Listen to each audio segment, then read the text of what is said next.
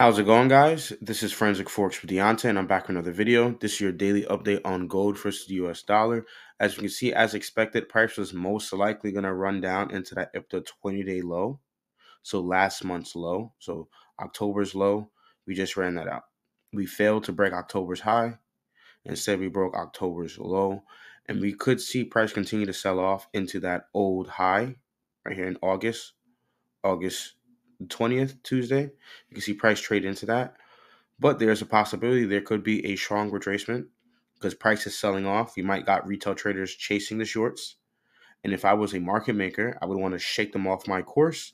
I would pull price back a little bit, get them out of their shorts, make them go long again, and then drop it again on them. And then they're all confused. Like, oh, wait, I thought the market was going long. Now it's going back short. So that's what I would think from a market maker perspective, right? If I was controlling the market, get the crowd, get retail, get the public mind on gold longs, and then go short on them the following day or the following week. That's how I would perceive it. Now, granted, right now we have a buy signal. This is a smash candle because this candle closes below several lows or will potentially close below several lows, possibly in the next four hours and change. Now, if it closes below several lows and returns back to its high, that could be a signal for a long position, whether that is a short term long or a long term long. There might be a potential buy opportunity because we're below November's opening price at a discount, and we could look for those longs below the weekly opening price, maybe on a Thursday or a Friday, potentially. If that setup were to play out, I would predict it would land on probably a Thursday or a Friday, right? Maybe a Thursday low of the week and then price turns around, maybe even a Wednesday low of the week and price turns around, closing higher on Friday. So gold right now still selling off. I personally would wait for a lower swing high or wait for another up close candle and then go short the following day. If you take a look at GU, so we see gold selling off, we should be seeing, let's see, we should be seeing GU doing the same thing. As you can see, GU selling off down and away from up close candles, right? In a bearish leg, those up days tend to be sold the following day. So just take a look. I know part of this is hindsight, but when you look at this leg so far going down, almost after every up day, sometimes it's two up days, sometimes it's three up days, even sometimes it's four up days, but more times than not, it's after those counter trend ideas, price then distributes lower in its intention, right? Its true intention is to go lower, but those up days are just fades, right? They're fading traders to the wrong side. They're getting retail traders to be lured to the wrong side, and then the following day they go short. You can see that happened here so far in the beginning of the month, right? We had an up close that run by that ran buy side. Breakout traders are probably looking for break retest, go higher, but instead the following day, strong displacement lower. Then we get a retracement back up. What do long traders look for? They're looking for those longs or even traders that are on the side of going short, they're now confused. They're like, oh, maybe it's going to go long. Then it goes long again. Now, this is also an outside bar candle. So it tricks traders, right? takes out the previous daily high and previous daily low with this large candle. takes out this high and this low within this one candle. That candle there tends to confuse a lot of traders.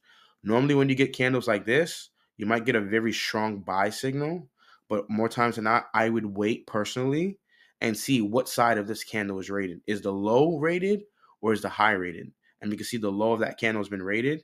So I would suspect maybe we got lower price action to go. Right now, price had tagged the IPDA 60 day low. So look at how we ranged around the IPDA old 40 day low here, September's low. We ranged around it for a bit, finally left it. Then we got down to October's low, tapped it, retrace back up, and now we went right through that low again one more time, running out that swing low, sell side down here, and then running down to that IPDA 60 day low, or pretty much what is this? This is not August's low, but it's close to August's low. But this that IPDA 60 day low ran out. Maybe we are running for August's low too, right? Which is what August 8th, this Thursday. So price could possibly reach down here, maybe in the next four hours. Who knows? Or maybe the following day or following week. It's a large candle to the downside.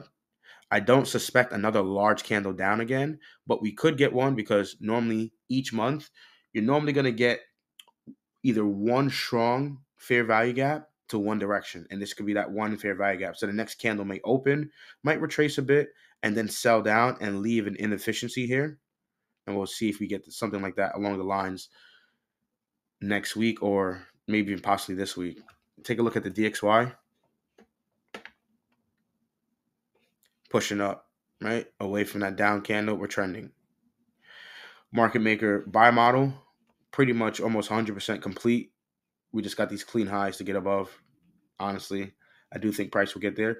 I would look at this as a new bullish order block. So if price comes down into it and we got a fair value gap right around it, price comes down into that zone, might be a buying opportunity here for DXY. So let's just mark that off here. So we got a nice little fair value gap here, right there, blended in with that last down close candle. Make sure that's correct. There we go. So we'll see what price is going to do. Do we get a higher swing low now after that false break on this swing low? Right, this one was a false break. So price ran this low here and decided to displace higher. It's also a smash candle, right? For those that are, you know, very inquisitive and very versed in Larry Williams concepts, you know that this is a smash candle here. This daily candle is a smash candle. Why? It closes below several lows, three or more daily lows, and it looks very bearish, right? Retail, their mind goes, oh, this looks bearish. So the following day, they might be looking for those break retests, but instead, quick reversal, strong displacement to the upside and I believe that what when it was Wednesday the election, I can't even remember it was Wednesday or Thursday. I think it was Wednesday. Yeah, it was Wednesday, right? Trump won, DXY gained strength, bond yields went up as well. So let's take a look at the bond yields too. It's been a while since we talked about that. So if you come down here, where are they? It's above this. Look at the two year trading up, right? We dropped below the yearly opening price too. The yields dropped below the yearly opening price. The same thing we do with the kill zones, the same thing we do with the true day open at midnight opening price, the same thing we do with the weekly candle, the daily candle, those opening prices, there's a yearly candle opening price, the opening bid of the year. We can see at one point at the year it was discounted multiple for a few moments, right, in January and February, and after that it made a leg up and then it started to break down and it broke all the way down through the yearly opening price, putting in itself in a deep discount for the year. And then they started accumulating orders here in September and October, and they unleashed that right there. And you can see it's closing above, or most likely going to close above the yearly open going into December, possibly, or to the end of the year. So I do think dollar is going to keep pushing higher. And so I think gold is going to push lower. Unless the market starts to consolidate towards the last month, which could possibly happen in December. 10 year, right, let's go back five years, same things, trending up. All of them are getting right above the yearly opening price, just like the DXY. This looks very similar to the DXY. Nothing too different. And if we take a look at some of the yen crosses, let's take a look at UJ.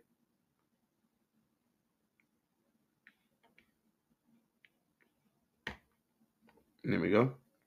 UJ, same thing, right? Yen is depreciating while what? Dollars coming back into play. Though rates are being cut, everybody is most likely going to navigate and pursue King Dollar, right? The global reserve currency. It's still dollar. Countries got to pay off debt in US dollars. Now, I'm not saying the future might change and dollar might not be, you know, highly sought after in the next 50 years. I don't know, right? I'm not trying to predict that. But within the next decade, dollars are still going to be sought after 100%. Guaranteed. Guaranteed. That's just my personal take on it. You may disagree with me, but I do think dollars will still be sought after and still be the global reserve currency in the next 10 years. So everybody's going to most likely go back into dollars or go back into what? Gold. And then we also have what? That nuance of what? The new variable of cryptocurrencies. So things are changing in the fiat world, at least in the currency world, in the way we trade and buy and go into debt. So please pay attention to these things as, you know, we're moving into a new era of the way money might be, you know, circulated on this globe. U.S. oil selling off. I'm not surprised because t- sometimes, right, gold and U.S. oil will trend in the same direction. So the fact that we're getting a lower gold and we're also getting a lower oil, I like that. So I want to see if oil is going to continue to sell off. there's a lot of intermarket analysis here going on, right? You see GU selling off, you see gold sell off. That means what? EU should be selling off, AU should be selling off. Look at that strong displacement, right? We're getting ready to leave, starting to sell off. Probably going to get down to August's lows somehow, some way, somehow, or at least 50% of this displacement, right? Of this wick or this tail, maybe 50% of that wick is going to get filled in. Who's this? The zillion dollar selling off as well. August is lows right there. so close. Strong movement right now, honestly, from price. Yen crosses, right? We're just scanning some things, right? Might be lethargic for some. AJ not really moving. Dollar has been right. UJ's been moving. All these other yen crosses not moving as quickly as UJ. I prefer the out of all the yen crosses, right? A little more um, info about me. Out of all the yen crosses, I like to trade UJ always, always, always, always. We got some of the futures of the currency. So look, EU, Euro futures, pound futures, just selling, selling. They're getting rid of their the fiat currency, right? They're jumping into something else that's more valuable. Right? Bank of England also cut rates recently. Feds cut rates recently. A lot of banks have been cutting. And then we also have gold versus what? The other fiats, right? Gold versus Australian dollar selling off. This is a daily chart too.